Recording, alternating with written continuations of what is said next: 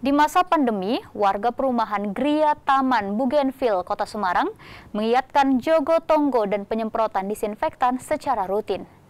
Terlebih setelah beberapa kakak di perumahan menjalani isolasi mandiri.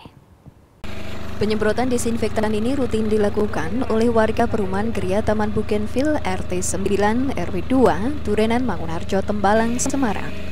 Warga bergotong royong melakukan penyemprotan dari rumah ke rumah, tak terkecuali tempat-tempat yang sering digunakan bersama. Salah satunya taman bermain anak-anak yang sering digunakan untuk berinteraksi. Tentunya dengan tetap menerapkan protokol kesehatan dan di bawah pantauan orang tua. Penyemprotan ini dilakukan untuk mencegah virus COVID-19 agar tidak semakin menyebar.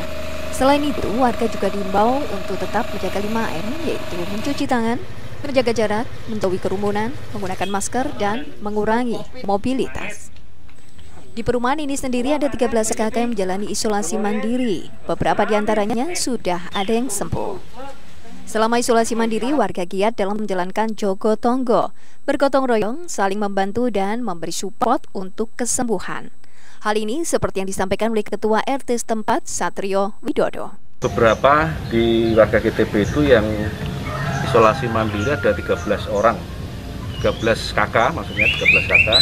Ini sudah menjalankan isolasi mandiri dan ada beberapa yang sudah sembuh karena kita terapkan cukup tonggo. Setiap warga yang uh, isolasi mandiri kita akan bergotong royong membantu warga tersebut yang terdampak COVID-19 di bagian pos security perumahan ini juga selektif dalam menerima orang luar yang masuk. Salah satunya, setiap tamu yang masuk harus wajib menggunakan masker. Gotong royong dalam penyemprotan disinfektan ini juga sebagai bentuk guyup rukun warga dalam mencegah penyebaran COVID-19. Tim Liputan, Kompas TV, Semarang, Jawa Tengah.